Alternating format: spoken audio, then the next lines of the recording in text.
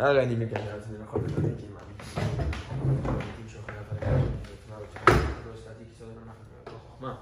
ربنا نحن Okay. Time to lesson. We're going to do Likutei Moharan Tinyana, Torah And this is a very special lesson. We're going to see at the end, Rabbeinu brings parables that, to be quite honest, I don't know how to even begin to you understand. I don't know. I don't know how to understand it. It's so. It's very esoteric. I don't, I don't know. We'll look at it. We'll try to. We'll try to decode it according to the way the lesson builds up. Okay. But let's do it and let's go into it. You know what I mean. Ask all the questions you guys want because this is important. Okay. תורה מ"ט. כשאדם נכנס לעבודת השם, when a man enters into service of God, serving Hashem. I'm just going to translate it as Avodat Hashem because everyone knows what that is.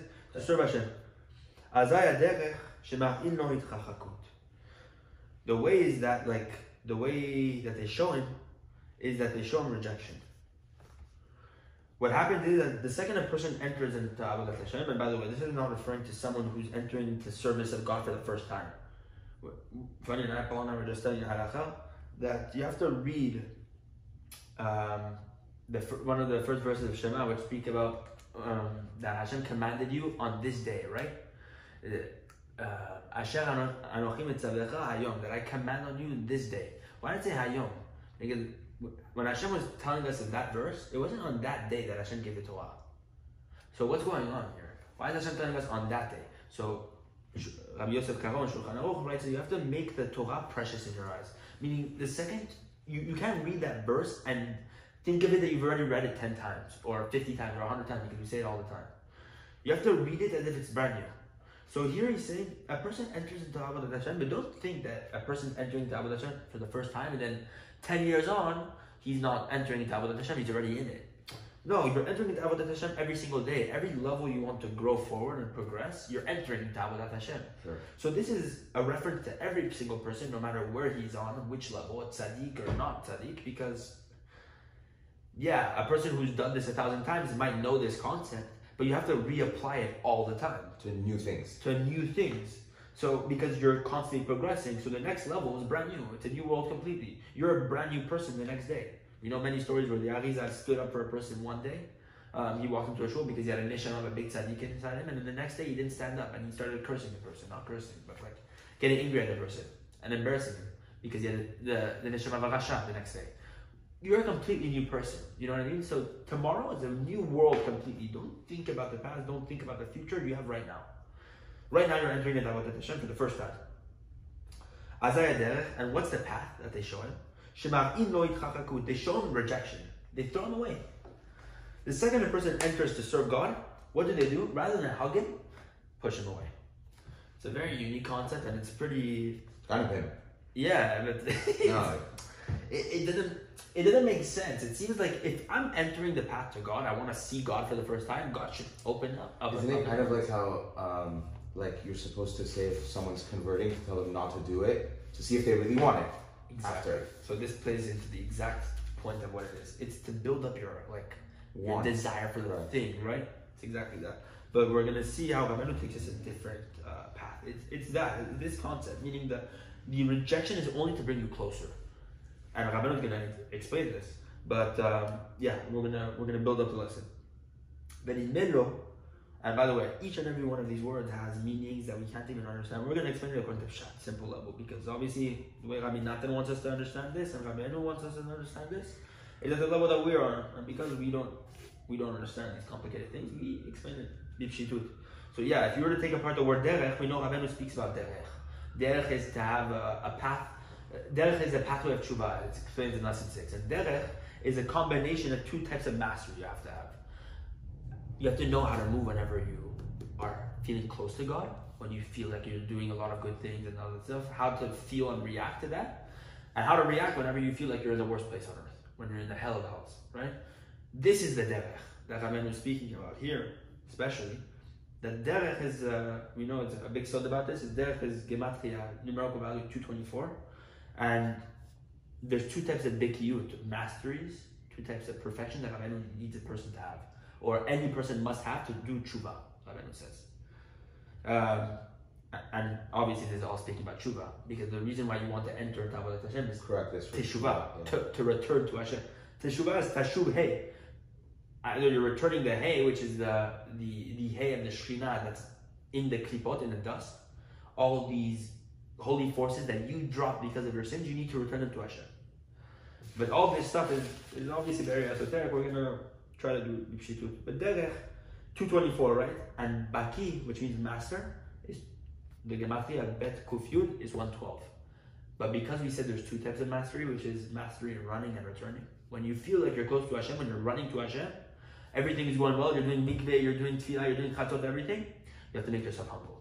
You have to realize Hashem is very far from. This is one mastery.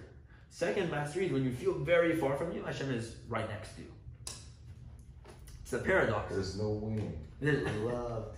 Meaning it's an infinite goal. No matter where you are, you have to be a baki baracha. You always have to go. Move forward. There's no staying in the same place. If you think you're close, the second you you you are sufficient with your level, it's finished. You're done. Where's the where's the progression? The second you feel like you're far and you can't move, no, Hashem is telling you, I'm with you. Come, let's walk together. I'm picking you up. This is the mastery you have to have. To give yourself the strength in both of those scenarios. Because those are the only two scenarios you are ever in. You're either feeling good or feeling bad. Yeah. Sorry. Yeah, there's no, you know what I mean? So you have to understand in which scenario to feel and how to apply that feeling, in, depending on what you're feeling. So, Rabbeinu said, this is the derech. But what's he saying? This derech of tshuva, now he's going to explain what you do whenever you feel very. Now he's going to explain one of those paths. When you feel like you're being rejected as if you're no one before Hashem, he's going to explain how to feel like that. It's like almost one of the, the scenarios of both of those feelings that a person can get, the good or the bad, the, the feeling close or the feeling far. Now the is going to explain all about the, the feeling far and how to change that into feeling close. But this is a big secret. So Rabbi is going to explain this and how to get to that place. So they show him rejection, and it seems to him as if from up there, from Hashem, from Hashem and up there in the heavens, everyone is pushing him away. No one wants him. The Erman Hashem, they don't allow this person to enter into service of Hashem at all. He doesn't have doesn't have a breath. You know what I mean? He can't take he can't even take a, a rest at the moment. He, he's he's being pushed away. Is turning this around into positivity, He's saying, Know that all of this dis- distancing that you're feeling all this rejection, this this feeling that Hashem doesn't want you, is actually only, it's all kulot kavod. It's all getting closer. Meaning the distancing in itself is the closeness. It's what we said, like, you know, when you feel far from Hashem, Hashem is actually closer to you. The fact that you feel far is actually the fact, in reality, that Hashem is close to you. That's the most insane concept ever. It's it's insane, but it mm. seems to you that Hashem is far, right? Hashem is not listening to my prayers. Every tefillah that I'm doing, Hashem is not answering me. I want to find a wife, Hashem is not answering me. I want to destroy this tava, this desire, Hashem is not answering me. I have a problem with parnasah, Hashem is not answering me. But the fact that you're doing all this effort and it feels to you as if Hashem is not there is proof that Hashem is right next to you. And it's saying kulot kavut. It's, it's actually all this is hit kavut. It's getting closer to Hashem. All this, this uh, what do you call? This experience and this journey you're going through and these feelings of emotions is actually only to bring you closer. You're getting there. You know what I mean? Just wait. וצריך התחזקות גדול מאוד מאוד מבלי דיבור בדתו. What is Rabbeinu saying? You need lots and lots of strength, uh, great strength, in order not to fall up here in your mind. Because Rabbeinu is saying all the falls are not physicality, it's up here. This is the chidush. That we think we fall, but actually up here we fall. And because up here we've already given up, or because we feel far up here, we've already decided in our minds that Hashem is far away, that's what makes us fall into the into the into the problems. Because Rabbeinu says there's a sin, right? We do the sin, and Rabbeinu will explain later on in this lesson. What's bigger than the sin is the actual depression that you lead afterwards. When you fall into sadness because of the fact that you feel far from Hashem, that's even bigger of a sin than the actual sin itself. Because that's going to break your connection completely. One sin can disconnect you a little bit, right? But the fact that you've already given up up here is the worst single thing possible. So this is what he's saying: not to fall up here, bidato, in your mind, because that's where it all exists. It's all up here. Because first off, the fact that Rabbeinu is going to explain later all about this stuff about all up here. We'll, we'll get to it and we'll explain it. So never fall in your mind, God forbid. That when you see that years and many, many years and days have passed, that you are exerting lots of effort and great effort in order to, to, to serve Hashem. And you still see that you're extremely far. And you weren't allowed at all to enter into the gates of Tusha, meaning you feel like Hashem not letting you even have a moment of rest. You know what I mean? You're getting pushed away, and not like he's uh, he's like okay, he pushed you away once, and he's like okay, come back. No, he's like he's continuing to push you. You feel like, Like, bro, I don't want you to come into this party. You at all. come. You're not allowed. I don't want you. This person feels like that. He's speaking to us, obviously. And you haven't feel you feel like you haven't entered at all into the gates of holiness. Even the little things that you didn't feel like you've done nothing or you feel like you haven't accomplished a single thing. כי רואה עצמו שהוא מלא עדיין עביות וגשמיות והרהורים ובלבולים גדולים. Because you see within yourself that you're filled with lots of crudeness, thickness, gashmiut, materialism, uh, הרהורים, thoughts, בלבולים גדולים, lots of confusions, distractions. You feel like you're filled with all these things that you're not even close to God. God doesn't even want you, you don't know God, nothing's going on. וכל מה שהוא רוצה לעשות בעבודת השם, and all that you want to do in Avodat Hashem, and serve, it, and to serve Hashem, to find God, is a Devashim no matter what thing in holiness it is, whether it's a Tikkun HaKlali or a Mikveh or uh, Kibbud honoring your parents, whatever it is, any single holy act, and it feels, you feel as if God, no one allows you to do it. Hashem is not allowing you to do a single thing. And it seems to you as if God is not looking at you at all. God has completely taken his protection off you and his sight. You're doing everything as if no one's watching you. The and he doesn't want his service at all. So this is, you can interpret this in two ways, I think. The end Klal Babadato, you can interpret in this idea that Hashem doesn't, you feel as if Hashem doesn't want your service, or now you get to the point as if you don't even want to do anything at all. The end Klal Babadato, it seems to me that your service becomes nothing in your eyes. You don't want it. You've given up. It's finished. You fall into Yerush. Into giving up. נחמה שהוא רואה שהוא צועק בכל פעם, ומתחנן ומתנפל לפניו יתברך שיעזרו בעבודתו. Because of the fact, why do you fall into this place where you get to this giving up? That you don't want your service at all, you don't even care about what you did before, that it doesn't matter, it's worth nothing. Because you see that you're screaming all the time. You're begging and you're pleading God, that Hashem helps you to get close to Him. And even so that you're screaming, you still see that you're far. So you give up. You feel like your prayers are worth nothing. Again, therefore, it seems to him, it seems as if God is not looking at you. And He's not turning to you at all, which means you feel like God doesn't exist. and we all go through this. Ki and because you feel as if God does not want you at all. Not your service, not you, not nothing that you have to do with. Nothing. So Gameno is going to explain now how to repair this. Whether it's all of this that we just said, and things similar to this, you need very great chizuk, reinforcement to strengthen yourself very, very much. Not to look at what I just told you at all. Don't look at this rejection that you're feeling at all. Don't pay attention to it. This is going to be the beginning of the This is what he's saying, the big sodot here. This is the sodot. This is it. And we're going to get the big sodot. We're going to, this is just the beginning. Uh, don't pay attention. Just like you saw Hashem and Hashem Yitbarach mistaker alav, He's not gazing at him. He's not paying attention to him. It's like, okay, look, I might be looking at you, but then I turn my face away. You know what I mean? Like, I see you do a nice little mikveh. I'll give you a little candy, a nice little sign of me, but you That's know, it. get away. Or maybe it's just that Hashem is looking at him. He's seeing all this, and he's just standing there like a bystander. This is the way you feel. And this, so what's Rabbeinu saying? ולבלי להסתכל על זה, as a clan, don't look at this at all. Don't even think about this. Don't even fall into the up here in your confusions into the mind to think that God's showing you rejection. Don't let it get to your head. Keep it in because no, genuinely. All this rejection is actually all you're getting closer. This entire process of rejection is actually the fact that you're getting closer. And not even saying it is on the way to get closer, it is a journey on the way to get closer. It's all getting closer.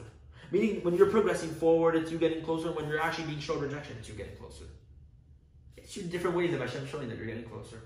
But we have to program ourselves that when we're shown this rejection, it's not a rejection of the fact that you're far from Hashem. No. It's a rejection because this is a necessary part of the process. Why? That's for a different time. Why Hashem does this?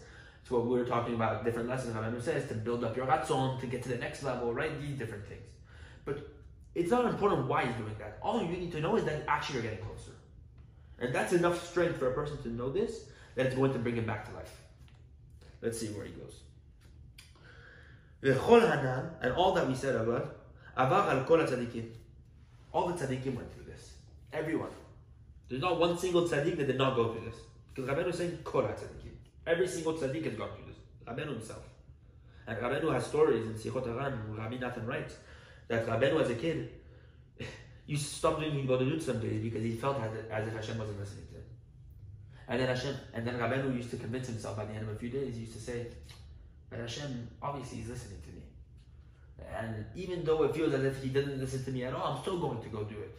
So he used to convince himself in this manner um, to get back in that process of praying to Hashem and getting close to Hashem. Because Rabbeinu at points felt as if giving up because he felt that Hashem would not listen to anything he was doing. So Rabbeinu went through this also.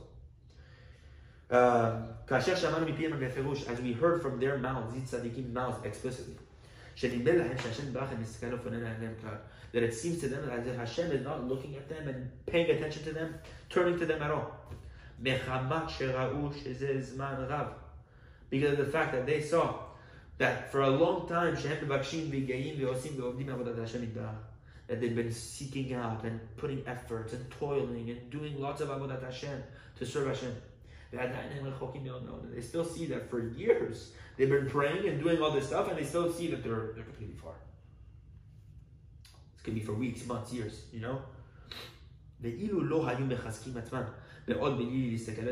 Rabbeinu is saying that if the tzaddikim did not strengthen themselves and reinforce themselves not to pay attention to this rejection, meaning to go past this rejection, to continue doing what they're doing, they would have stayed in the initial place. They would have never moved. They would not have not become tzaddikim. They wouldn't have merited what they've attained, what they merited. This is the, the ultimate phrase. And the, the main thing is like this, my beloved brother. And I was just, let's not even get started on where that takes us. Exactly. And it's funny that we wanted to do this lesson because this is the point where I got to, into this lesson and I got very emotional. Because never have I ever seen a Moharan, I'm going to use this language, where now he transitions from this place of teaching to this place of, it's me and you. I'm talking to you now. It's not, before it's like, all this stuff is a lesson I'm giving it in front of many people. Mm-hmm. You know what I mean? I'm a tzaddik. You know what I mean? Like, there's a disconnect. The tzaddik and the talmid, right? There's all these lessons where Rabbeinu explains his grandeur, right? And yeah, he's explaining how we can get to that place and all this stuff, how it's connected to me.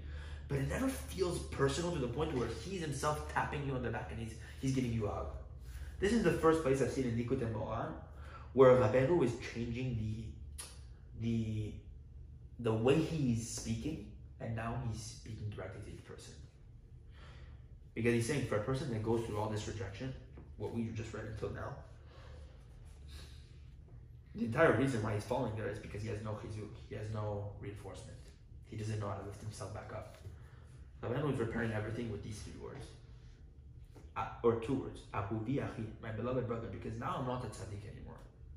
Achi, I'm your brother. You said achi, bro. That's a. I'm your brother. This is this is between me and you now. Yeah. This is. I'm telling you right now that whatever you're going through is actually because I went through it with you. I'm with you, I'm going to lift you up. We're going through this together. And not only that, he didn't say my brother, he said Ahuvi Achi, my beloved brother.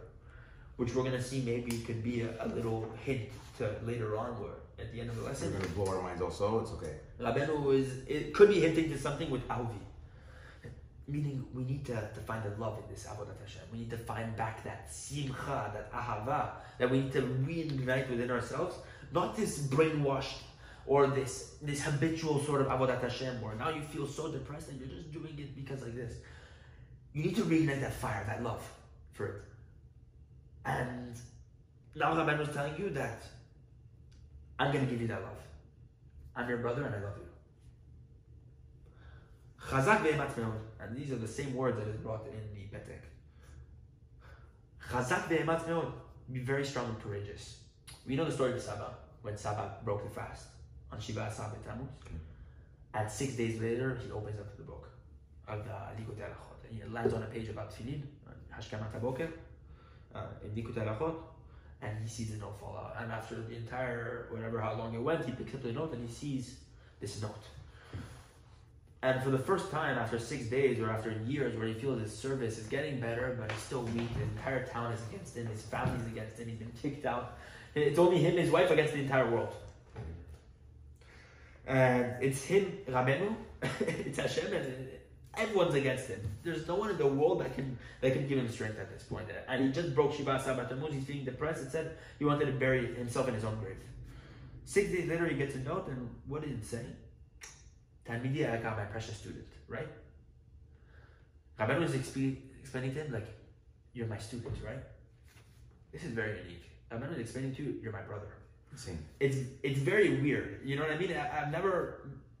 There's something very unique about this phrase that I've never looked through all of the Quran. Rabbeinu will never ever explain in this sort of language where he now is speaking direct, direct this yeah. person, or even achi or ahuvi achi. This I've never heard of in my entire life, and I don't know if it ever comes up at the end because I haven't studied the end of the lesson. But this is unique. This is chidush, complete chidush. Chazak ve'ematz stay strong and courageous. Be very strong and courageous. This is chazak. Be very strong and courageous in your service. It's the same inyan. Saba went to this place of depression where he felt as if Hashem was rejecting him completely, making him fall into the fast. You know what I mean? Breaking the fast. And we're going to see that it wasn't Saba's fault why he fell into the fast. How? I'm going to explain at the end a chidush like you've never heard before in your life. Sometimes Hashem makes you fall. It's not your fault. Stop. We'll explain it. This is the proof. But now Rabbeinu was explaining because sometimes when you fall, it's not you at all. It's Hashem that's doing it on purpose. And that distancing that He's making you that fall that you feel far from Hashem is actually His intention to get you closer. How? Who knows? It's God's plan, right? But you have to accept it. Now Rabbeinu is explaining to you, my beloved brother, stay strong in your service. Because I'm explaining to you at the place of now there's no statuses. I went through the same thing you went through, and now I'm putting myself in your shoes. You and I. Now, obviously, the tzaddik is so big that he can descend himself to this place of brother, where he can get to this place where he speaks to you as if it's me and you, Yeah. best friends. Sometimes Rabbi, Rabbi Nathan felt this place where Rabbi used to wrap his arm around Rabbi, Rabbeinu and speak to him as if he was his best friend. And sometimes Rabbi, Rabbeinu would ex- embarrass Rabbi Nathan in front of everyone, obviously for reasons only Rabbeinu can understand. There's differences, you know what I mean? There's different times. This is a very unique time. ואחוז עצמך בכל הכוחו להישאר קיים בעבודתך. Stay strong and hold on to yourself with all your force to stay strong and to stay, maintain your, your service. Don't give up. ואל תחוש ואל תסתכל כלל על כל העניין. Don't pay attention and don't look at all that we said about this rejection, okay, and all things similar to this rejection that you feel. ואם אתה רחוק מאוד מאוד ממנו יתברך, and if you're very very far from Hashem, and Rabbeinu doesn't usually repeat words like that unless it's very important. Me'od, me'od. Very, very much. And we know me'od, by the way, is, um, we know in, in the Midrash, is a reference to the Yetzer Hara. Um, uh, there's, a, there's a pasuk in Bereshit that God saw that, um, I think about one of the days that He created, one of the six days of creation, thought that was very good. Very unique. I think it could have been a ref- reference to the third day or something. But Me'od, Bereshit Rabbah, the Midrash says, Me'od Yetzer Hara. Me'od is a reference to Yetzer Hara. You could feel that you're so far from Hashem. Rachok Me'od Me'od. Not only you're enveloped in Yetzer Hara in one covering, you have two. It's like almost like a hastara shebetoch hastara. You feel so far from Hashem that you're like in a place where you don't even want Him. It's like, forget it. Yeah. I don't want to be conscious of Hashem. I don't want any of this. You feel completely far. You feel like the Yitzhak is attached you not once or twice. You know what I mean? All this stuff. I don't know. This is maybe, but there's there's much to there. You know what I mean? I'm not just explaining me'od me'od for some reason. When he's repeating the word, it's very intentional. I mean, Nathan's writing this obviously with all the intentions in mind. Um, and it seems to you as if you're blemishing and sinning at every single moment next to God. This is the place where a person can feel depressed. And you feel as if every single moment you're sinning next to Hashem in korze kenegidze, even with all of what we just mentioned, they did not know this. She'ish kaze, a man like this, shehu megusham korkach, that he's so enveloped in materialism, right? He's so entrenched in this physicality. Kol tnuah, utnuah, shehu medatek me'at me'at mitgash beoto, every single movement and shift that he detaches himself from, a little bit, just a little bit, me'at me'at, a little, little bit from his physicality, ופונה להשם יתברך, and with that detachment he moves close to Hashem, just turning to Hashem a little bit, not close, turning, just a little turn. היא גדולה ויקרה מאוד מאוד. It is very great and very very precious. ואפילו נקודה קטנה מאוד, and even a very small point, שהוא נתק מגשמיותו אל המדבר, that he detaches himself from his from the gashmiut of this world, from the physicality of this world, to get close to Hashem, הוא רץ בזה כמה וכמה אלפים פרסאות בעולמות העליונים. he runs and he runs for however many thousands of parsaot. A parsa is around four kilometers, I think. Four kilometers or two kilometers, I forgot. It could be two, two kilometers. Imagine. Thousands and thousands of parsaot, this sort of measurement, ba'alamot and the supernal worlds. Already, this is very unique because it doesn't really make sense to describe um, a physical distance in a place you're right. where there's no physicality at all. Yeah. It doesn't make sense. So what's That's Rabbeinu saying? It's very weird. Right.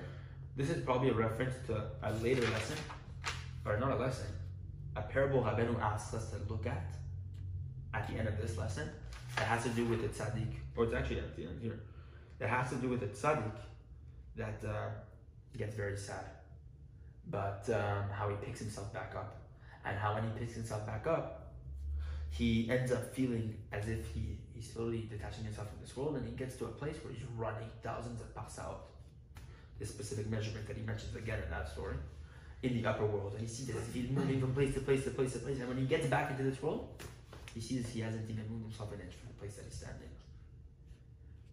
Even maybe just he moved a hair's breadth, which is coming to show us something very big. Rabbeinu is saying, even if you just you move a toe in this world in Avodat Hashem of service of God, you just lift up a finger to open up this book because you want to pick it up and then you close it after because you don't feel the strength. Just the fact that you moved your hand is moving thousands and thousands of miles for a person who's so far from Hashem. Or for a person who feels as if he's completely entrenched in materialism and all these things that he's suffering with. Just the fact that he opened up the book or just made a movement like this, he didn't move from his space. He maybe moved a hair's breadth with his finger, right?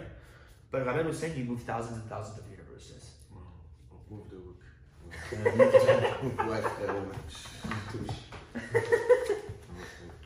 No, already the fact that we're sitting down here and we're looking at the lesson and we're trying to discover what Rabbeinu is telling us is already, we can't even imagine thousands of universes. It's above that. You know what I mean? We can't imagine the reward of, forget the reward, on, yeah. the movements that were going on up there. Because down here it feels like as if we're doing nothing, but it's all To it's, maybe the match that you ignite, and then the fire starts. Exactly. It's just everything down here is this this small thing, but we don't know how to take take it like to make it a big thing. This is why Rabbeinu is going to explain at the end of the lesson. It's all very connected. This idea of finding your good points, because the second you focus on your good points and you remind them to Hashem, Hashem, this morning I put on a kippah. This morning Hashem I put on a petek. This morning I put on my tzitzit. This morning Hashem I made a bracha, I put on my tefillin. These small things are not small at all. But because we don't pay attention to them, we don't feel as if we're moving. But Hashem is telling us every small thing, you have to start off anew. When you're entering, understand that you're entering it every single day, every single moment. Chavenu said a person sometimes has to restart anew many times a day. There's many days in a day. We don't realize how this works, but Chavenu is saying start anew, start again, start fresh. 20 years passed, who cares? Start again right now. You only have right now. And this is what Rabbeinu was saying, you know? He's telling us, gather up your strength, gird your gird your loins and you know pick yourself back up because you're moving thousands of universes just by small things. And you feel like you haven't even moved. Instead, he comes back to his initial place, he hasn't even moved from a spot. And yet he's breaking boundaries and universes and all this stuff. Parsa also can come from the word perusa. I think um, bechitza perusa, it's like a divided boundary or something like that. I, I remember reading this in another lesson. It's meaning even just your running can break through barriers up there in worlds that we can't even understand. You're breaking through things you can't even imagine, just by small things. But understand that you're breaking through obstacles and barriers, and you're going through this obstacle course that no one can go through, but you're doing that just by small things, small little things. We have to appreciate the small mitzvot that we do. Kasher Tavin Heted, and a mitzvah is not one of the 613, by the way. Hamenu says a mitzvah is any single good act. So a mitzvah can be saying hi to a person. There's no mitzvah in the Torah saying you could say hi. But the fact that you gave this person a smile could be making thousands sure. of movements up there. You, you actually have no idea. You know? Who, who knows? Eh, As you understand very well from the story of the tzaddik who had sadness overcome him which we were just talking about. As it's brought by us in the story, it's a story that it's one of Rabbeinu's parables. At the end of Sippurei Maasiyot, he gave us small stories, you know what I mean?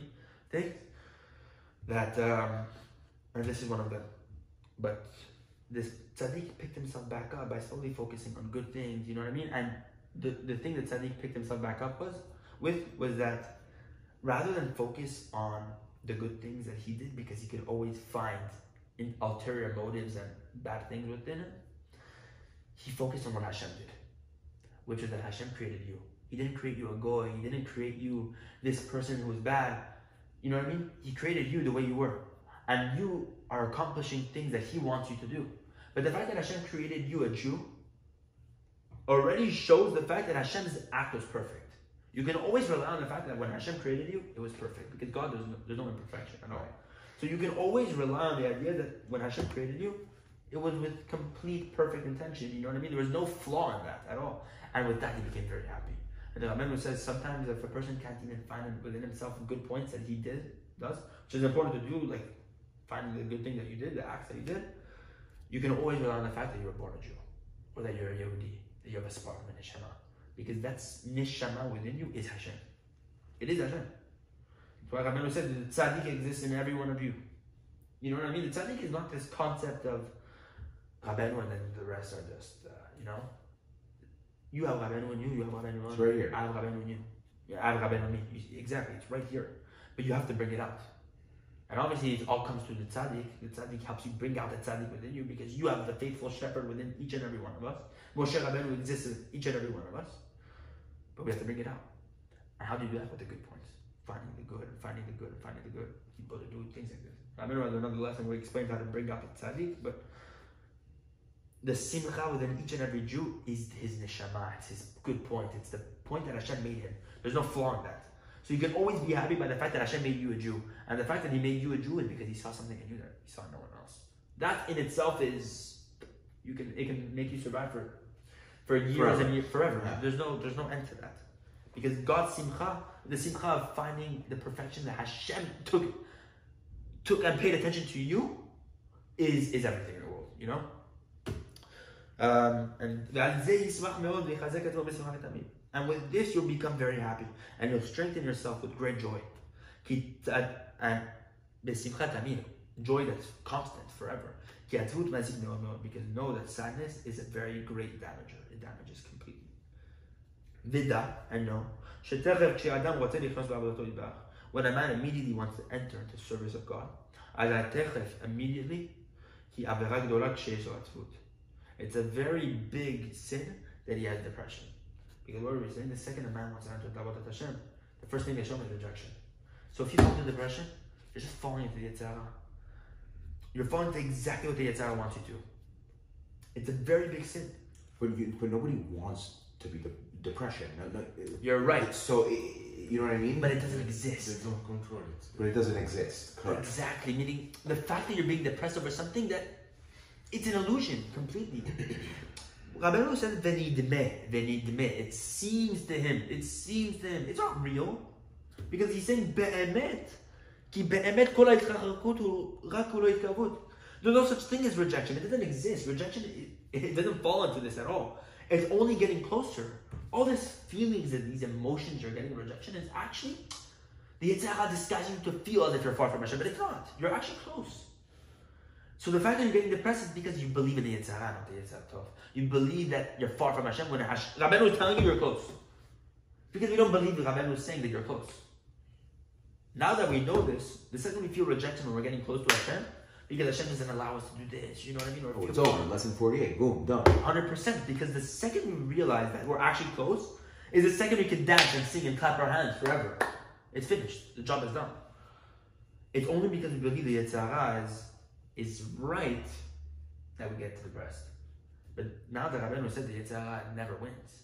As long as you're searching for Hashem and you want to get close, because saying the second person enters Avodat Hashem, it could be a tzaddik, it could be a person who just started, right? But he's entering Avodat Hashem. Second you enter Avodat Hashem, what's, what's the person who's entering Avodat Hashem? He wants to see Hashem. He's getting closer to Hashem. His intentions are to find God, right? Which means already from the initial point, all the rejection that you're getting in the thing is only because of your good motives in the, in the first place.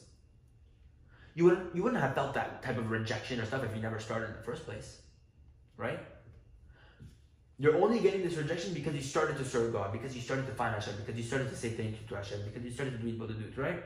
Which means, how does it make sense that you're starting to get close to God and now you feel rejection? Which means it's not a rejection at all.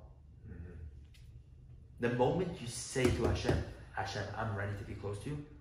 I want to start doing mincha every single day. I want to start doing avid, or I want to start speaking to you, hitbodedut. The second you start making a step and a progression forward of saying Hashem, now I want to get close to you, or to make that decision in your head that now I want to to make that step forward closer to Hashem. At that moment on, all the rejection you're feeling, no, it's all rooted in and it's all rooted in closeness to God. It's just part of the process. But just be besimcha because that simcha in itself is proof that you believe that you're getting close to Hashem. Second, you fall into, into depression is because you believe that Yetzer Hara is winning. When in truth, there's no Yetzer Hara at all. You're only getting closer and your intentions are good.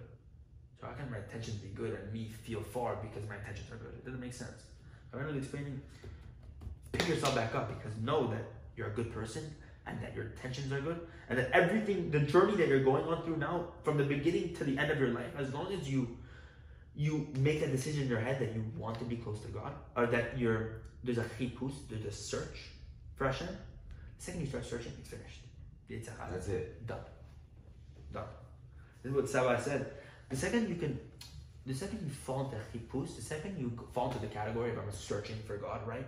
Or I'm moving forward to God, um, or I'm searching for the truth, right? Or I'm emet with myself, I'm honest with myself. I want to get close to Hashem, and I know how far I am, right? But I still want to get close. Even the falls that you endure after that don't mean Hashem right? everything. It's a big Oh. chidush. It's, It's something. thing It's ever. hard. It's hard to say that because it's saying that there's no responsibility. Yeah, it's hard to say that exactly. It's, it's hard to say because then you can just be like, oh, it's all part of the But it only on the condition that, that, the intention that your was correct. entire intention was that you only want to get close Yeah, to Hashem. So you're going to pick. You're going to hit yourself whenever you're not doing things right, right? Right. But you cannot let that get to your head and to tell you to fall to the place of where I cannot pick myself back up now, or that Hashem is not close to me. Hashem is always close to you as long as you want to be close to But then how do you stay accountable? You're always accountable. All the action that you're not doing, you realize you're far from Hashem, right? The fact that But knowingly doing something is premeditated. Yeah, meaning the entire condition of what we're speaking about is that the fact that you only want to get close to it. So the fact that you're saying, um, now I'm going to sin, but I'm not responsible for it, is already with an ulterior motive that you don't want to get close to God. Exactly, so it's bad. No, that, that, that, that's not emet. We're saying the entire condition has to be emet. Meaning your search is for Hashem. I just want to be close to God. I don't care about my own mabah. Forget my own mabah for a second. In this world, I just want to take the simcha, the mitzvah, to dance. I want to put on my tefillin and dance with my tefillin on. Sorry. Who can take that from you? Yeah. Yeah. You know? And when you're at that point where you want to be with Hashem, just be with Hashem. You know? To go with the Torah and the mitzvot and to realize that yes, you might be far, but you just want to be next to Him. The journey is the journey is in God's hand. That's it. Don't worry. Don't go into the bilbulim. And I was talking to someone today, and he gave me a tremendous chizuk. And funny enough, it per- fit perfectly into this lesson. Is that We cause ourselves our own damage up here. This is why he said, don't fall in your head, in your mind. Because it's all up here, it's all an illusion. The Yetzer Hara is trying to convince you that you're not close, but it's all up here. You are close. Because your search from the beginning was with that point that you wanted to be close to Hashem. It was emet. There's nothing wrong about it. It's just you want to be close to Hashem. There's no flaw. See? So that's on that condition that you want to be close to Hashem, that you're searching, the rest is in Hashem's hands. Let Hashem take care of it. Everyone, everyone will fall. Yes, you have to be accountable. You have to tell yourself, this is not right because the halakha says I shouldn't do this, right? So yeah, I didn't do this right, but Hashem, I want to be close to you. Hashem's not going to. Hashem is not a dictator. We know in the Gemara, but there's a- Hashem is not, does not rule with tyranny over his, his creatures. He understands, you know. All we have to do is have that ratzon, the desire to be close to Hashem. That's all our job. Uh, we're just flipping the pages. You know what I mean? It's like when you're in prayer, our job is not to to speak the words. The words are from the neshama. They're our tefillot. And I was listening to a big chidush on, on Shabbat, a, a, a big bestseller. Paul and I were, were talking with uh, this big bestseller. Was it about listening? what- Listening to the words you're praying, right? That's Our job is to listen. It's the words are from our neshama. They, they, they don't belong to us. We are not talking. We're not talking. It's Hashem speaking from within us. Because the neshama that's screaming out to Hashem to pray. When we're doing shacharit, azamra lelokai beodi, na na na na to listen to the words. Azamra lelokai beodi, I'll sing to God with my little bit. When we're listening, we shouldn't we shouldn't just say the words in, in like this. Listen to the words you're saying. Our job is to listen. So it was a it was a chidush. It's something that I that I took a lot I took a lot of chizuk and reinforcement from because a lot of the time we get so sophisticated. Our job is just to to want the good thing and just to move forward. Do our best. That's it. Do our best.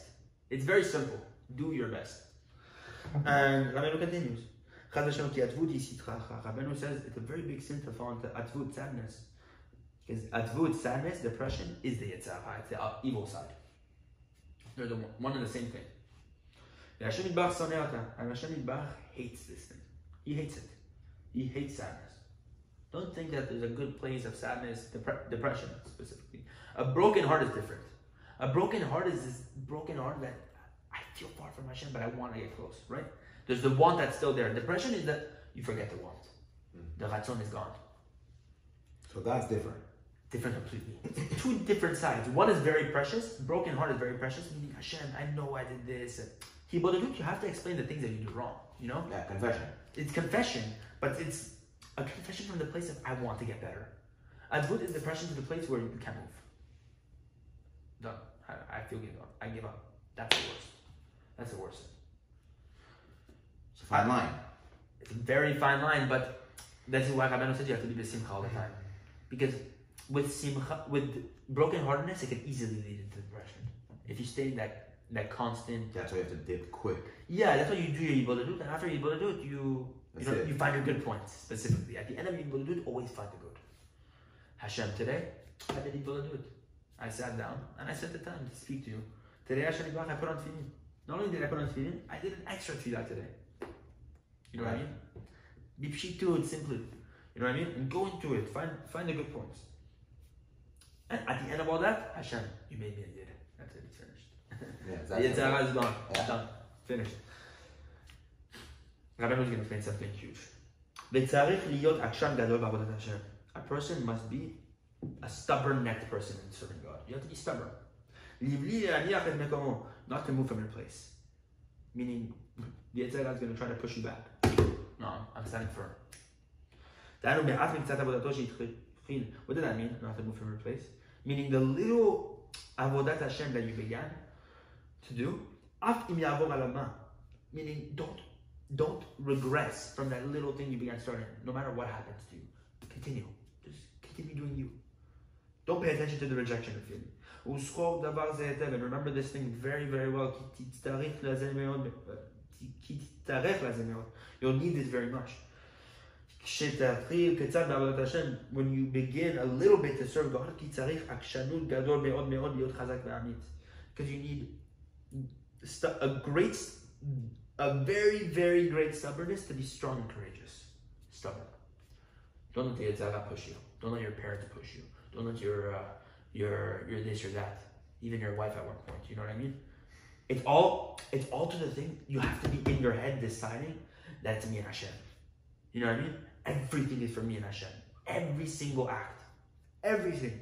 So even if your wife's gonna push you back, right? And that's an extreme example. Even if your your father, your mother, your father-in-law, right? Rabbi Natan went through all of this. Father-in-law, wife, they were all pushing him away from the tzaddik. He said no. Rabbeinu wanted to teach him Mishnayot for the first time. Mishnayot is like the first thing you study when you're in kindergarten, you know. Um, and Rabbi Natan already knew Mishnayot cold. He knew the Gemara already by the age of 30, 13 and everything. He was going to be Dayan, head judge of over 70 provinces in Ukraine. I think already at one point he was already doing that with his father-in-law. Father-in-law appointed him. He came to Rabbeinu for the first time, and Rabbeinu gave him a book called Shivchei Arizal, Praises of the Arizal. Read books of stories of the Arizal. Stories of the Arizal. Rabbeinu is teaching him, I need you to be my student. I need you to be the Rabbi Chaim Vital of the Arizal. Understand what it means to be a student of the of the tzaddik. This is your next role. Not only that, he gave him Mishnayot to study every day. Mishnayot, kindergarten things. We start from the beginning. 18 Mishnayot a day. And when his father-in-law sees Rabbi Natan studying Mishnayot, who's this person that gave you Mishnayot? You're Rabbi Natan, a blessed. You're, you're Beddin, you're Yeah. Abeddin. You're studying Mishnayot? You know what Rabbi Natan said? I start over with Aleph Bet. I don't even know what Aleph Bet is anymore. I start over completely. That's why Rabbi Natan is Rabbi. Because everything we know of Rabbeinu, everything we can know of Rabbeinu is only when we forget everything that we thought we knew. Forget everything you think you know. Forget Aleph Bet. Forget that Aleph is Aleph. Forget that Bet is Bet. Second you start with Rabbeinu, you come fresh. It's like the tzaddik Rabbi Zera who went uh, from Babel to Eretz Israel and moved from Iraq, uh, Iraq to Israel. This was thousands of years ago, the time of Maha. And uh, he, he fasted 40 days to forget the Talmud Bavli, to forget the, the, the Gemara that he had studied. He fasted 40 days to forget the Torah. People today are fasting 40 days to remember Talmud Bavli. He's fasting 40 days to forget. Because when you get to Eretz Israel, it's the Torah of the Geulah, the redemption. Babel in Iraq, there's machloket, there's argument, there's no shalom. He understood that to get to Eretz Israel, you have to forget everything you know and to start over. This is the biggest principle. When you come to Rabbeinu, the tzaddik I met, who is Eretz Israel, you have to forget everything you think you know. All the things that I think I know, that I should do this and this thing, all the Gemara that I thought I knew before I studied Rabbeinu, that I, you know what I mean, that I thought I knew this Gemara Brachot, start over. I, I don't know it. Start again. I mean, I didn't know what Aleph and Aleph is. Bet and bet. You know what I mean? All this stuff. There's even place in, in Likutei Halachot, Likutei Moharan, the original, the original books, you know, that they, they wrote things a little differently. And we were talking about this yesterday on Shabbat, that they, the gra- grammatical, the punctuation and stuff like that could be off in, um, in the way, in the Hebrew language, you know what I mean? There's, there's some inconsistencies. But Rabbeinu knew that. He's obviously writing something very differently. He's not putting above here and he's putting above there. An accident. Not by accident, clearly. Rabbi Natan, the same thing. We have to understand this, and we have to believe that when they're writing this, they're they're doing this exactly because they know exactly what they're doing. And we have to be here the emunah, and when we have that emunah, we can attain their levels. Rabbi Natan said, "You know how to become like Rabbeinu?" And I felt as if I was on the shoulder of a giant. The way we become Rabbeinu, because Rabbeinu said, "I want my students to become kamoni mamash, like me, literally." There's no difference between me and my student. How? When you realize that there's that I don't know Rabbeinu. The second you realize that you don't know Rabbeinu, the second you realize you don't know anything, is the second you can take in everything that Rabbeinu is. Can you make yourself a vessel that's completely empty? Rabbeinu fills up everything. Hashem will fill you up with all His light. And the second Hashem fills you up with all His light, there's no, there's no me thinking here. There's no one drop in the glass in the vessel that is from me. It's all from Hashem. Which means you're going to be a, a vessel for God's light completely.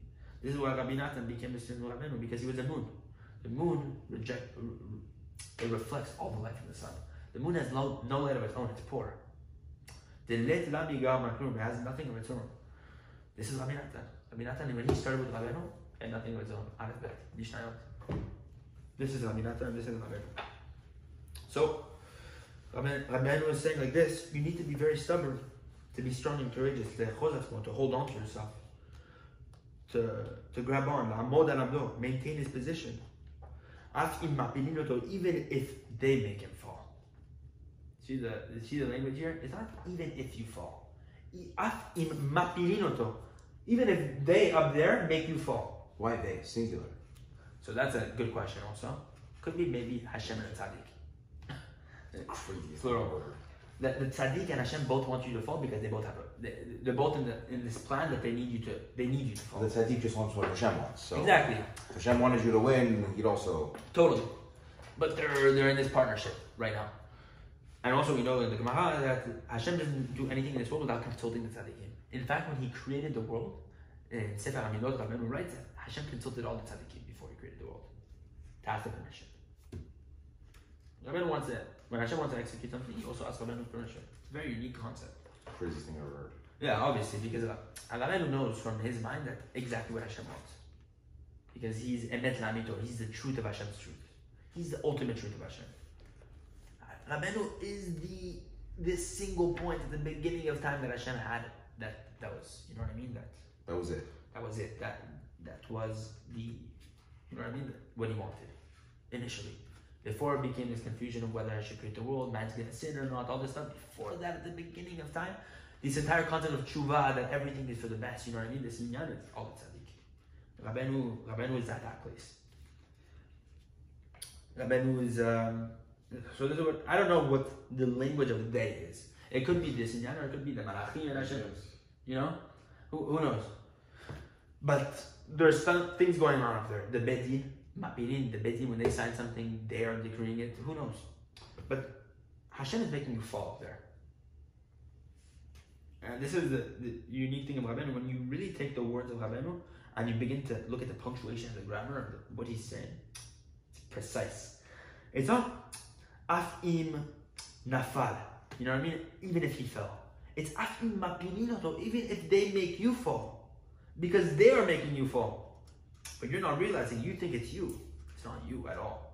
Because your initial intention was completely good.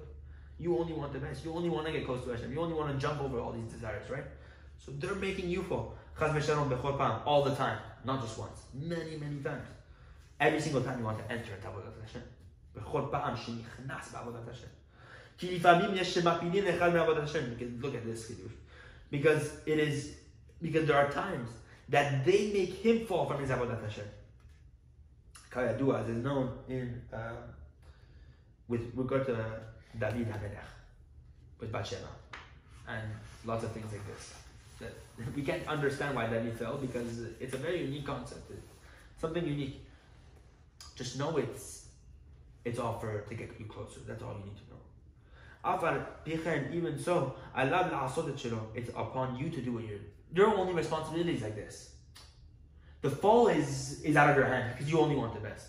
But your responsibility is how you react. I want to get still closer. I don't want to stop because I fall. The test is in what happened after you fall. Am I going to stay in the same place and I'm going? Am I going to regress? I have one foot inside the door of holiness. Am I going to step back and completely leave? Or am I going to continue doing forward what I'm doing? Going to the mikveh once in a week or, you know what I mean? Doing what I'm doing. Not getting discouraged לעשות מה שיוכל עבודת השם, to do what you're able to do in עבודת השם, ואל יניח עצמו ליפול לגמרי, don't let yourself fall completely חס ושלום, כי כל אלו הנפילות הירדות והבלבולים וכיוצא בזה, צריכים בהכרח לעבור בהם. Because all these falls, these descents, these confusions, and all these things that are fall in this category, you need and you're obligated to go through these things. קודם שנכנסים בשער הקדושה, before you enter the gates of קדושה, holiness. וגם הצדיקים האמיתיים עברו בכל זה, and all the true צדיקים went through this. Vida, I know like this. Rabbeinu is saying there's a person who's literally right next to the door of holiness. He's about to enter, all the light's about to shine on him. He's about to get the chokhmah, he's about to get everything. He's about to see Hashem with his own eyes. And he ends up walking back. Because of the confusions that are plaguing him in his mind. Because of the rejection. It's getting to his head. And because of the rejection, he believes he's far, he falls, he leaves. Or or that then כשהוא סמוך אצל הבטח, or that when he's right next to the opening, אז מתגבר עליו הסדרה אחת והבא דבר מאוד מאוד. The Yitzhak gets stronger sometimes. And it continues to instigate against him very much. Rachamana Nitzan, Hashem, have mercy. בהתגברות גדול ונורא מאוד מאוד. Rabbeinu is telling you that right when you're next to it, you're going to see a Yitzhak that's so big right next to you. רחמן נמצא, ואין מניחין אותו להיכנס לתוך הפתח, and they don't allow you to, to enter to the gate, right? They're not letting you, it's blocked. You cannot get to the door is locked. So that's the way it feels, feels right? ומחמת זה הוא חוזר לאחור, because of this he goes back, but it's not going back falling. What we say going back is after the fall how you react. Because we know we always fall. There's no such thing as like this. There's this, this, this, Yeah. this. How do you react after you fall? Am I going to still try? I did a sin, right? Am I going to still do mincha? Or am I, do I give up because Hashem doesn't want my mincha? See the difference? A true chassid is someone who understands, a true student of Rabbeinu is someone who understands that even after the fall, no, that's when Hashem wants my tefillah right now. Because that's the entire test. Am I proving to Hashem that the Yetzer Hara is right that I fall in? Or am I proving to Hashem that actually I'm actually getting closer because of the fact that I fell? You could use it into yeah, it's crazy. You could either you're gonna fall. You can either fall and do the second sin, or you can fall and get make it even Repair bigger. it yeah, into repair mitzvah. it into mitzvah. That's what we're gonna It's see. insane. This is the, the biggest senior. Uh, כי חן דרך בדבר עשית אחרא, כשרואה שאדם סמוך סמוך ממש לשערי הקדושה, because it's the path of the, the way of the Yetzirah and the, the evil side is that when they see a person in samuch samuch mamash, he's next to, next to, literally. he's one foot in the door. The next minute, he's about to enter into the path of holiness. He's about to have all the light shine on him. He's about to get illumination from from Atzilut. You know what I mean? But that's where the second before is about to be crazy. Second before, it's that's where it gets hardest. It's like the, the light is, the night is darkest before the dawn, right? This yin It's the same idea. They get it from this. Why? And he's about to enter. The Yetzer Hara overcomes this person with all its strength very, very much. Hashem, God forbid. Arken, therefore, ah, you need to gather up all your uh, strengths again, strengthen, uh, strengths against. And we heard from a true tzaddik that said, that if one person had told him, no matter what had happened,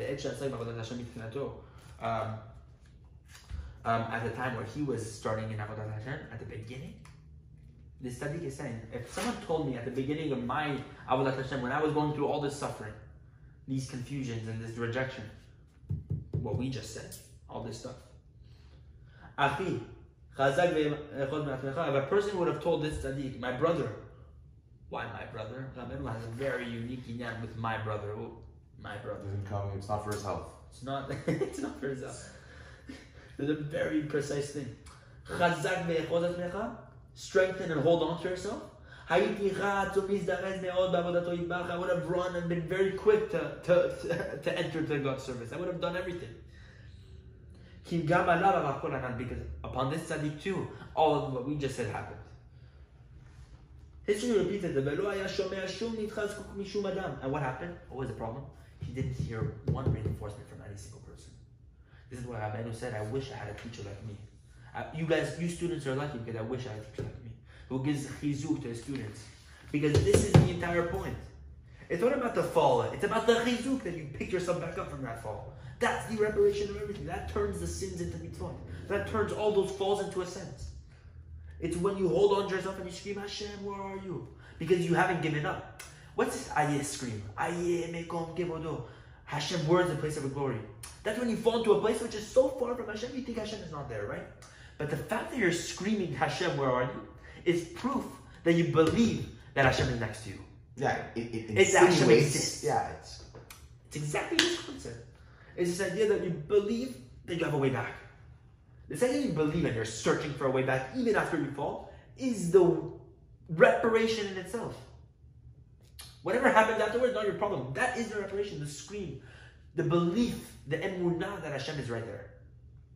We can't even we can't even begin to understand this because we we understand this entirely because we go through this all the time. But we can't even understand the effects that this does up there. When we constantly searching for Hashem, low, high. This is everything. Rabbeinu is explaining the secret to life right now because a person, you always feel as if you're going like this.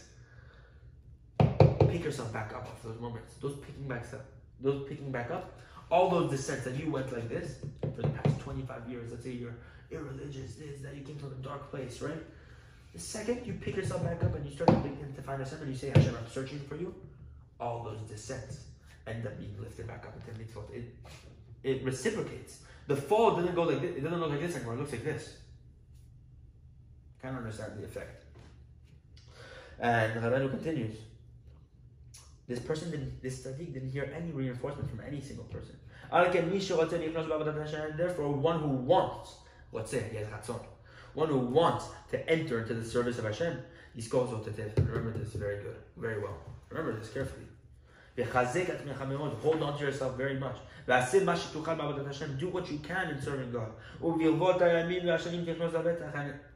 As many days and years go on, it's certain that you're going to enter into the into um, into this path, into the, the service of Hashem, and Hashem is going to help you. That with the help of Hashem, you're going to enter into the gates of holiness as long as you hold yourself up. Because Hashem is full of mercy and He wants our service very much. ודע, and know, שכל התנועות וההעתקות שאתה ניתק לנתה בכל פעם איזה מעט מנגש באותו לעבוד את זה Or we say, all the movements and shifts that we detach ourselves from the physicality of this world into the service of God.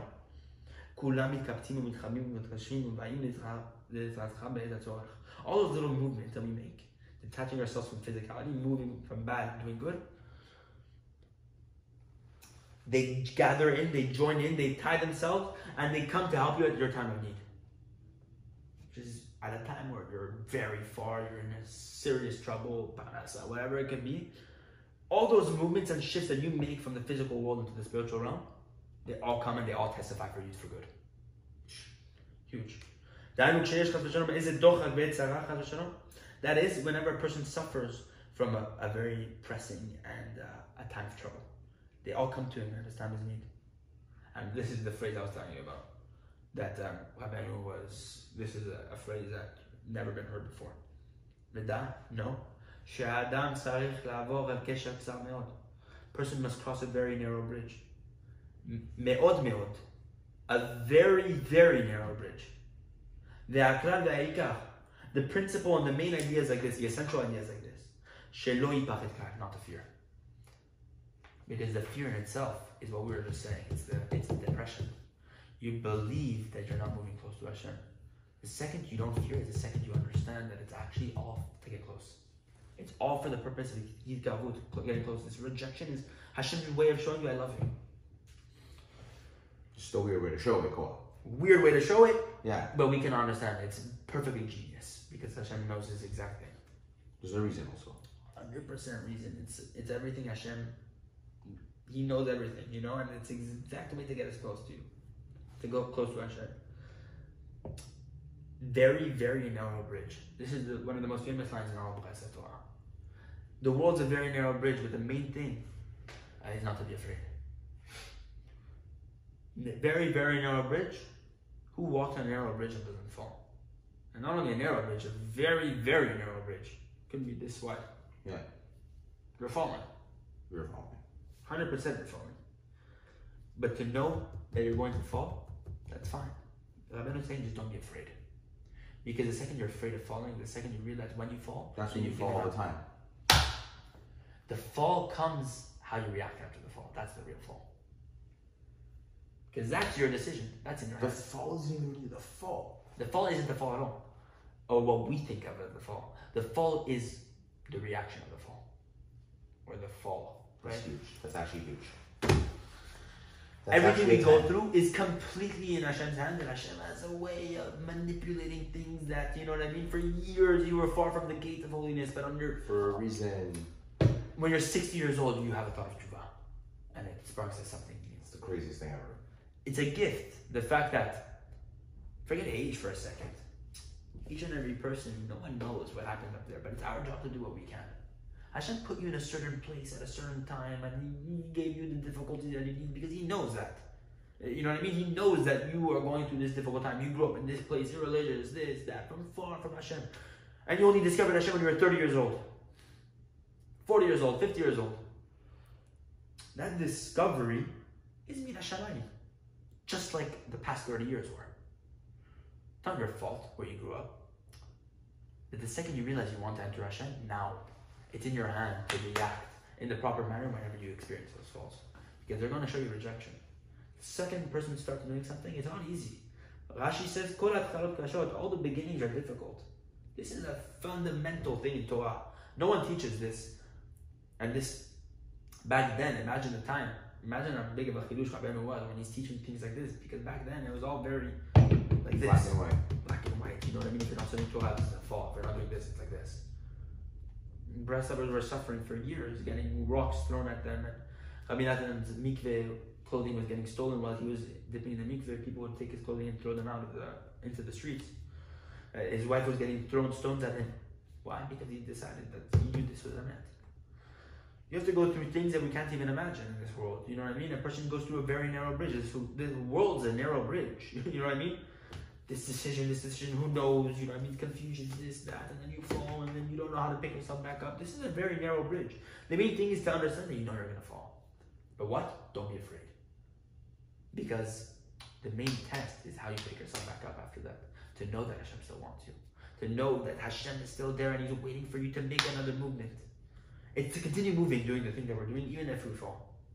Now, obviously, it's not to want to fall, Hashem, that's it's twisted. We don't want to fall, we want to get close. And by force that we have to go through these nefilot, these falls, these descents. How do we react? Vida. This is a parable that I was that we were talking about earlier. This is very unique. I don't know what it means at all. Sheyesh there's a tree. Shegderim alavarim, and on this tree grow many leaves Or leaves.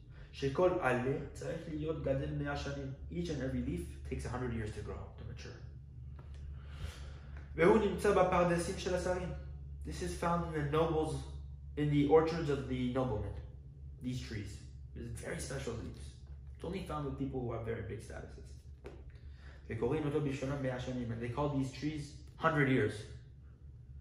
ומסתמה, and most likely, כשגדל מאה שנים, when it grows to 100 years, after 100 years. It's certain that it's already experienced a journey of we can't even imagine. It, it went through this process of whatever it did. Each and every leaf according to the way it went. Each and every person according to the way he goes. And afterwards, at the end of these 100 years, it shoots out a, a blasting voice, a great voice, like a cannon. It screams from the bottom of its uh, roots. Who knows? Shekorin Ormatye.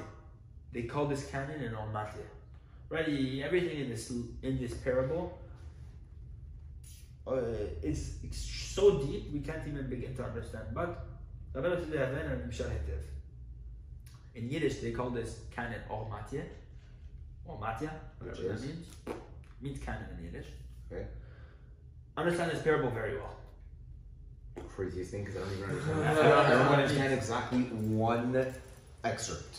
So I can say it like this. Hashem just sent me something. Ilan is a person. A tree is a person. Ki ha'adam hu etz. Because man is the tree of the field. It says in Bereshit.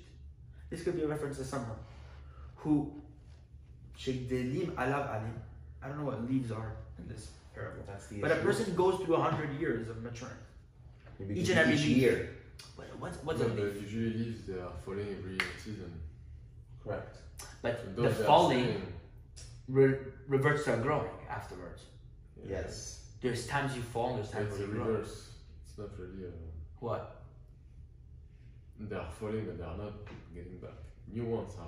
New ones. those. But you're a new it person. seems that the cells are growing.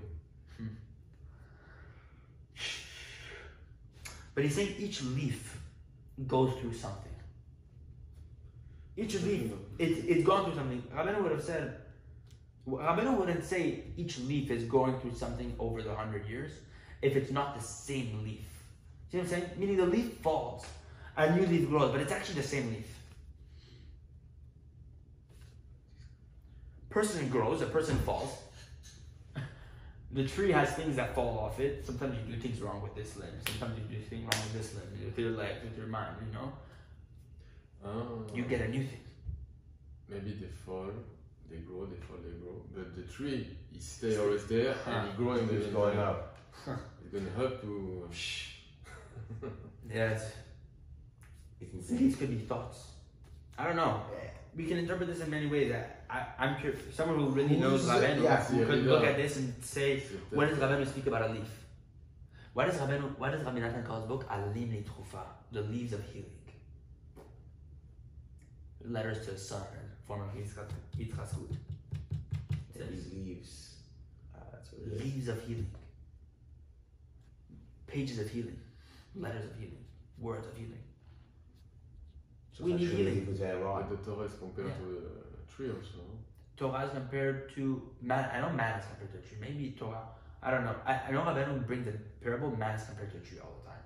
Mm, okay, so makes sense. That's The alim is interesting. The, the leaves that are, leaves leaves could be something. Regardless of that, it takes a hundred years to mature. Meaning, year after year after year, you go through whatever you go through. You go through experiences no one can tell you what you went through. At the end of a hundred years, you have a life story that no one can ever experience in their lives. You know what I mean? Right, because it's too many variables to, So to match on another off chance. Yeah, yeah. a sentence falls. No one will ever go through, even in The one day, what you went through. Uh, Right. in the same thing. No one. You can spend the same day with the same person, the exact same thing, and you'll go through something completely different than you. Because no one's on the same level, also. It's certain that he goes through what he goes through Over alav ma she'over. It- This person, this leaf goes through an experience that no one can, can tell you what it went through. ואחר כך, And at the end of these hundred years, I don't know why he chooses a hundred years also, it's very interesting. Why hundred? That's for sure a reason. Hundred percent of reason. I Probably I a can't tell hundred you why. reasons. Al tikre ma el hamea, maybe that's something. It, don't read it what, but rather a hundred. It, there's, there's something very unique about that. There's a phrase in the Gemara that's, that says um, something like this, but I don't know what it has to do with that. But yore bekol gadol. He shoots out a big voice like a cannon. Shoots out a big voice. And they call this Ormatye. In Yiddish, a cannon. Why, why would you bring that word in Yiddish? We know what the word in Hebrew means. Why do we need it in Yiddish, first off? Which means in the Yiddish, there's letters and things that are decent to us. But the audience was maybe uh, mostly. Uh, But why give the entire Torah in Hebrew in one word? Yeah. maybe at that time the word canon was not uh, in Hebrew. I don't know. It's possible, but obviously when Rabbeinu is using a word in Yiddish, and especially in quotes like this, there's something deep about the words that he's bringing. Meaning, even in the Yiddish, why in the Petek does he bring a phrase in Yiddish completely, rather than the entire thing is Hebrew? Uh, my fire will burn till Mashiach is coming is in Yiddish, not in Hebrew in the Petek. Why? Because there's letters and thing things, there's something there, a kavanah there that cannot be written in the Hebrew word. Or it needs the Yiddish here, this specific example. Or Matya. I don't know what, but something to look at. The Advent and Shalatif understand this parable very well. It seemed like the story of our life. I don't know how, but But this if is he's telling us to understand the parable well, it's because there has to be a way to understand it. Hundred percent. I'm sure if we were to look at something else, if we were to take the parables or the, the subjects of each and every single thing in this parable, which is a tree, a leaf, a cannon, a hun- what a hundred is, you know what I mean? Uh, There's reasons for growing, all these things. If we were to look into Rabbeinu's work, we'd find all the answers. Obviously, I don't have that, that expertise in, in Rabbeinu's work to know all this stuff. So, and what is the the orchards of the nobleman? That's the craziest thing ever. But Shalasalim, why do these trees only grow in the, in the orchard of the nobleman? Maybe because what's Sarim? Sar is an officer. But you know what Sar? Ki. Why was Israel, Yaakov named Israel? Because you fought with an angel of God. Sarita.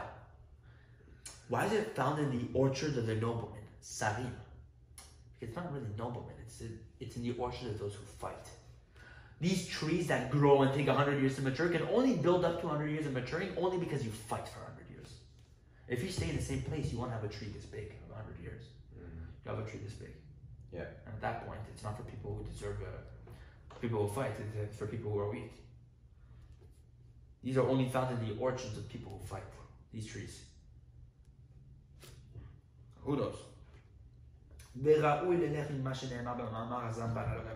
saying, no, it's fitting for a person. A person must go with what is said in the Torah. הזמרה לאלוקי בעודי, I will sing to Hashem with my little bit, which speaks about what? דהיינו לבקש ולחפש ולמצוא בעצמו איזה זכות ואיזה נקודה טובה. To search, to seek out, למצוא, to find בעצמו within himself a single merit or a single good point. With that little good that you find within yourself, that's purely good, you'll be happy and strengthen yourself. And you won't regress from your place. You won't allow yourself to be thrown off by the rejection. Even if you fell to what you fell, uh, God forbid strengthen yourself with the little good that you can still find. Ad Hashem says a person can only do tshuva when he does this. To do true tshuva, which what we were just saying, only when you find the good. Mm. You cannot do tshuva except if you find the good. Not only Rabbeinu says that, when you find the good in others, accept them to do tshuva. Rabbeinu opens up the Hashem opens up the hands to accept these people to do tshuva. Even a rasha gamur, a very far person, you have to find good points in that person. It doesn't mean to judge the bad that he does good. That, because the bad is the bad. No, but find the good that he does. Find the good that he does. This evil person said hi to uh, the storekeeper. Make a make a big deal about that hi to Hashem. Tell Hashem, Hashem, look at the hi he said. Not only did he say it with uh, Smile. he smiled, he, he did hand motions, you know, whatever it was. And he was in a rush, you know. When you do that, you accept, you allow this person to do tshuva. Because Rabbeinu said the only way to do tshuva is through this.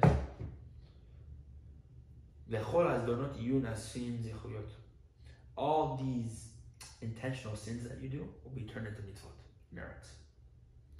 When you merit to find a good point within yourself, to pick yourself back up when you fall, which we were just talking about, not to let the rejection get to your head, not to fall, to fall in your head, to believe that there's a way back, to know that there's a way back, to know that there's a way back.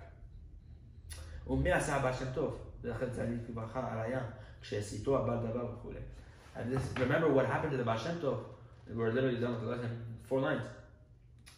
Remember what happened to the Baal May his, um, may his merit, may the merit of the tzaddik be for a blessing.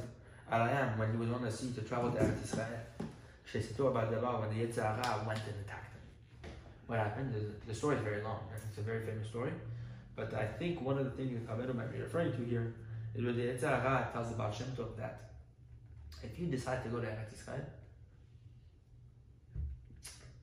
it's either you decide to throw off your child off board, he was traveling, he was traveling with his daughter, it's a famous story, mm-hmm. or throw off your books. There's a very famous story in how Kaberu plays into that story. How He somehow gets what he wants and uh, Yes. the other thing also. Yeah, I think so. it's it's unique because uh, Baal Shem Tov had so much. He was a revolutionary. He's the tzaddik uh, of the generation, right? Um, a tzaddik had never been seen till the likes of the Arizal. You know what I mean? Baal Shem Tov, and he had written works that were chidushim. Chas- He's the founder of Chassidut, right? So imagine the work that he's doing compared to everyone else. It's chidushim and novelties that can can be replaced. And he's traveling with them to Israel to go meet the Or HaChaim, Rabbi Chaim Ben Attar. And while he's on the way, the Yetzer Hara says if he sees that if he's going to meet the Or HaChaim, they're going to bring them the Mashiach. To know. If he, if If he he, had met him, wow. he never got there. And while he's on the way, the Yetzer Hara says, you don't move further, or it's either two things right now. You either throw your daughter off board, And then you can move forward. move forward, Okay. or you threw off your books. All your teachings for the past however many years you've been teaching, all those that light that you need to spread to the world, it's your decision. What happened? the daughter sacrificed herself and said, I'm going off. so you mm. can spread the light. She jumped off, and then while she's off in the, in the thing, the Yetzer Hara throws her off board. The, the Satan throws her off board. From the water, she starts screaming, Abba, Abba, take me out. And the Tov takes her out and asks her what happened. And she tells him that um, you need to throw off all your books because I see that I'm going to have a great grandson that's going to be even bigger than you. No way. I mean, Oh, that's or a grandson that's going to be bigger than you. I mean, I don't. So he threw off all the all the books, and not only that, not only that, while he was traveling there, it got to a point where this is I think e- e- the- even before this story, where the Yetzer Hara told the Baal Shem Tov, if you continue to go to Eretz Israel, I will take away all your knowledge of how to read. I Who, expect who, who, who the Yetzer Hara said this? the Baal Shem Tov. This is before the story. Mm-hmm. What I How could the Yetzer Hara have so much power to do because for that? such a big Because he was act, such a G, yeah. you have to. You, there's a lot of eat as much good there's as much bad. Totally. So he said, okay, I'll go there as an ignoramus. I won't know how to read alphabet. And the Yetzer Hara took away his, his knowledge to the point where he couldn't even read a bracha. Didn't know how to pronounce Baruch Hashem. Craziest thing ever. So this is what it requires to be so strong. And Ahmed was saying, remember what the story of the Baal Shem Tov, when he was on the sea, when the Yetzer Hara instigated his forces against him. Don't let anything get in your way to, to doing a holy act. You know what I mean? Don't let the Yetzer Hara get in your way to think that you're no one do you. It's not your problem whether you fall, whether you forget the alphabet, whether you know what I mean, you lose all your books. Forget it, just do you. From that story, you'll understand it. From all we what we just said, you understand until where a person must go until reinforcing himself not to give up, not to give up on yourself. No matter what happens to you, the essential, all the time, happy.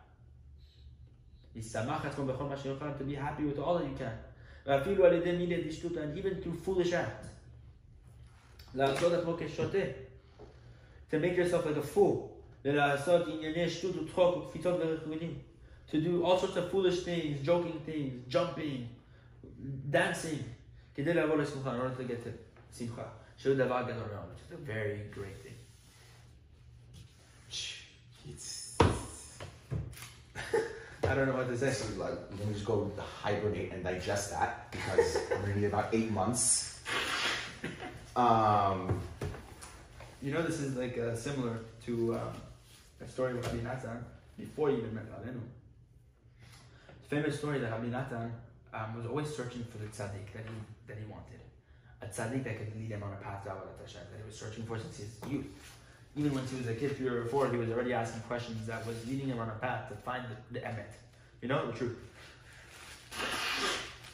And he ended up becoming a student of one big tzaddik, another one, and ended up getting to a place where he became the student of the Rabbi Levi Yitzhak Lubavitch, a big, big tzaddik. Rabbeinu praised the tzaddik very much to show you this great level of this tzaddik. That he was one of the only tzaddikim Rabbeinu really praised him, like specifically. And Rabbeinu praised him tremendously. And uh, Rabbi Natan, this was before he met Rabbeinu. He was his student. He even wrote part of. His sefer, he's a very big famous tzaddik. Who's, who's, this book is called Kedushat Levi. He wrote part of the book Kedushat Levi, Rabbi Natan. And Rabbi Levi Lubavitch Hashem called him Nasale as a nickname, you know. Very close to this tzaddik. But even so, Rabbi Natan still felt something missing. That final piece that's going to bring him over the edge, you know? Going to bring him the place he needs to be. And he came to a place where he was continuing to ask Hashem for this, to find his tzaddik. And he, one Saturday night, it was customary that they would do melave marka. And they used to spin the bottle for who would go buy the bread. And it landed on Rabbi Natan. So Rabbi Natan gets out of the house and he's starting to walk to the bagel fact, the, the bagel spot to buy the, the bagels for melave marka. What happens? While he's on the way, he's so upset. He's telling Hashem, Hashem I'm not here to buy bagels in this world. You know? Here to search for the truth. What happens? He takes a detour. He goes into the Bet Midrash, Bet Knesset, and he goes into the women's section and he starts reading Tehillim and crying. Crying. Yeah. To hide himself from people he didn't want to see. I see. It was already late at night and stuff, you know. He didn't want to see anyone. He goes there and he starts crying at Damien. He falls asleep. And while he's sleeping, he has a dream. He's climbing one rung of a ladder at a time and he falls. Another ladder falls. Another point in the ladder and he falls and he gets higher and higher each and every time after he falls. The place where he gets climbs up, he's about to climb on the top of the ladder and he's climbing and he sees a face at the top of the ladder. And he sees a face and it's a face he's never seen before. And the face is telling him, stay strong. You know what I mean? Don't fall. Hold on to yourself. Say, hold on hold on to yourself, but don't fall. Um, then he wakes up. Something of, of the sort.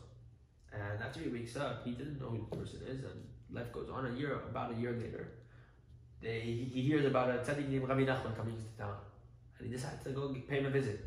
The second he sees Rabbi, he realizes who is that? It's the guy from the dream. The guy from the dream at the top of the ladder. It's his entire Torah. This entire. Because his entire life feels like he's falling. He's not getting the tzaddik he wants. He's not getting close to Hashem according to the way he wants. He's crying, reading Tehillim. He has to go buy bagels. See what I'm saying? That's a fall for Rabbi Natan. But he gets to the place where Rabbi is telling him, hold on to yourself. Because the entire point is not whether you fall a thousand times, but even after every fall, you're climbing higher and higher on the ladder. But once you hold on to yourself, I think he even fell at the end of the dream. He falls and he wakes up. Which comes to show you that Rabbeinu wasn't saying, he said keep climbing but hold on tight. I think that was the phrase. Not this idea of don't fall. Because you're going to fall. But hold on tight because even when you fall, I, want, I still need you to keep climbing. Keep climbing the rung of the ladder even after you fall. Because you're going to reach the top. It doesn't matter. Of keep wanting it. So Rabbeinu same thing to Rabbi Natan. No matter what falls the person goes through, because even time, sometimes So person, even if you, sorry for cutting you off. So even if you fall, um, and so you're going up the ladder, but you're saying that even when you fall, the falling, or so to speak, in this example, the feeling rejected and far from Hashem is actually getting closer. So if you take that, maybe it's if you were to fall off a ladder, you would go down. So maybe it's not a fall, maybe it's just a slip because in the dream, Rabbi Nachman was telling him, just hold on. So maybe he's on the ladder and holding on and slipping, but he's not falling because if he would have fell, he would have went down. Since he's going up, or since he's repairing what there is at that state, maybe instead of a fall, I like to say, I would like to think, slip instead of fall. I know it's, it's not I know it's a considered. small I know. thing. What I, It's not considered a fall. Meaning, according to because we the always say fall, fall, fall. It's actually so negative. We're always saying we're falling. We're not falling. We're just slipping. Maybe we didn't fall. It's not a step at all. In fact, it's actually all getting close. Maybe it's not even a slip.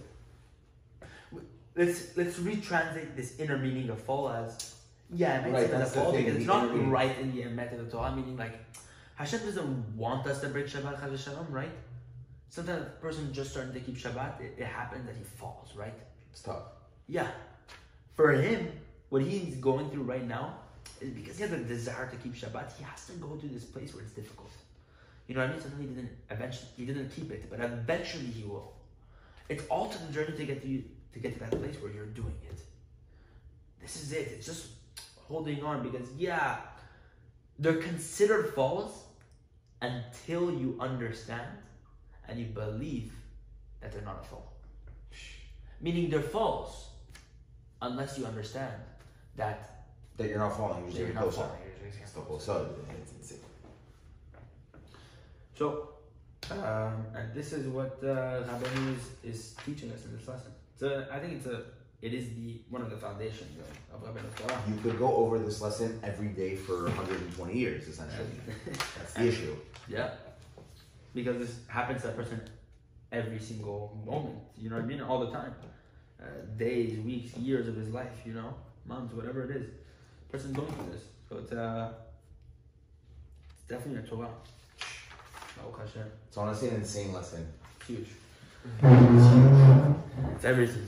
It's um, it's um, it's something to put a lot of thought into for sure.